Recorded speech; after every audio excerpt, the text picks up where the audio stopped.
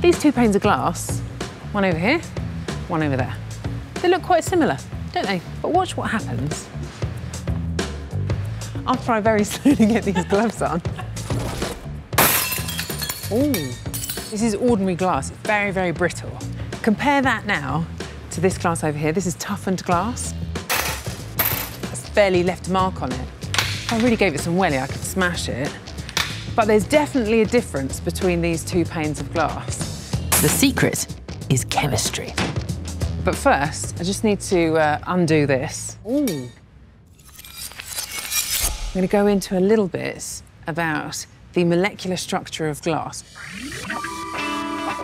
But just bear with me because I, I promise this is going to be worth it. Glass is actually a super cooled liquid. So you can think of it more like some strings of beads of atoms rather than like a really nice regular structure. And glass, it's made from sand, limestone, and sodium. Charged particles, or ions, of the sodium will sit inside this structure. Just on the surface like that. That's normal glass. Now, when it comes to toughened glass, you have the same sort of strings that kind of go like this, but instead, they deliberately remove sodium ions on the surface and replace them instead with potassium. I Don't know if you remember any of your chemistry from school, but potassium is a much bigger ion than sodium. And so, its presence in this structure means that those strings of beads fill up the spaces between these strings, are like squished out towards the edges. And it means that if ever something comes along and cracks down here, the potassium helps to just keep everything neatly knitted together. With more delicate electronics than you can shake a USB stick at. Fitness trackers have to withstand all of the knocks and the bumps that we invariably put them through. So I heard this great story about a pig that was wearing a fitness tracker, monitoring its step count and proving that it was free range. Except unfortunately, one day the fitness tracker fell off. Pig eats it, it got damaged in the digestive tract, ended up causing a fire when it came out the other end. Now that is quite an extreme thing for a fitness tracker to have to go through. But when you're building this stuff, you certainly don't want to create one that's just going to fall apart at the slightest knock or scrape. And that is why those clever fitness tracker designers have added a component that makes them robust enough to withstand almost anything that we throw at them the toughened glass screen. But just how strong is the glass? Well, this is the place that the tech companies come to to find out.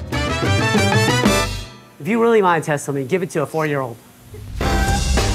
That is Terry Leo from Quanta Laboratories. His job is to try and break stuff, testing out products for most of the major companies in Silicon Valley. Do you ever just want to like smash stuff? That's what we do. I mean, I know. Terry puts products through their paces to make sure that they can withstand whatever we do to them. Although, okay, maybe not the pig thing. This is what we call the guided drop. And basically, it drops a unit at any direction and point. It basically holds on to it, and at the last foot, it lets it go and drops it and hits the perfect flat drop. To test just how much stress the glass can withstand, Terry has a machine that will drop the device from various heights. We're starting at 8 feet. Oh my gosh. You want to go higher?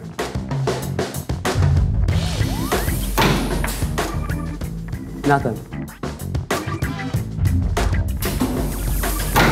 15 feet. Wow.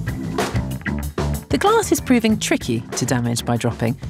But how about resisting scratches from keys in our pockets, for example? Well, Terry has a whole other machine for testing just that. This test right now, can add different weights on there, how much weight to put on it, how much force and pressure to put on it.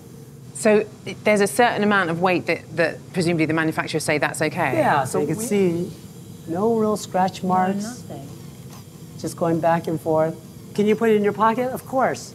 Would I recommend that? Probably not. I wouldn't put my you know, watch in my pocket if I know I had keys there. I had uh, one of these smartwatches, and uh, my daughter was having a tantrum in a in a supermarket. Sure. And like a fool, to try and uh, you know get her out of her tantrum, I said that she could wear my smartwatch. At which point she proceeded to have this huge tantrum on the floor, and then uh, by the end, I mean, it was so scratched you could barely see it. They just know how. We actually tested a bunch of these toys, and it was just crazy the types of tests we have to do on them. All the bodily fluids you have to try on it, it's just nasty. Fake sweat, fake pee. We have you know different acids that you could put on there, and this is what I think about all day. How do I torture a device? Well, my old smartwatch died back in the cereal aisle of the supermarket. RIP. But this one has survived a 15 foot fall and Terry's scratch test. It's the Bruce Willis of smartwatches. So far, we've dropped the device onto wood, but now it's time for the toughest test so far. We could do a concrete drop. You want concrete? Yes. Oh, that did not sound good.